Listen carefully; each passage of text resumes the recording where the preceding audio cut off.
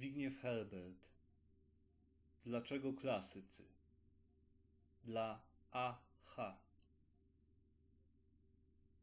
W księdze czwartej wojny peloponeskiej Tucydydes opowiada dzieje swej nieudanej wyprawy. Pośród długich mów wodzów, bitew, oblężeń, zarazy, gęstej sieci intryg, dyplomatycznych zabiegów, epizod ten jest jak szpilka w lesie. Kolonia ateńska Amfipolis wpadła w ręce Brazydasa, ponieważ Tucydydes spóźnił się z odsieczą. Zapłacił za to rodzinnemu miastu dozgonnym wygnaniem.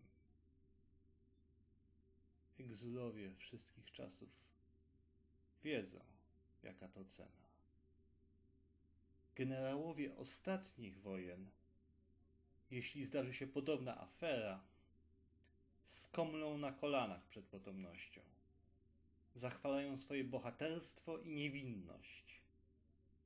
Oskarżają podwładnych, zawistnych kolegów, nieprzyjazne wiatry. Tucydydes mówi tylko, że miał siedem okrętów, była zima i płynął szybko.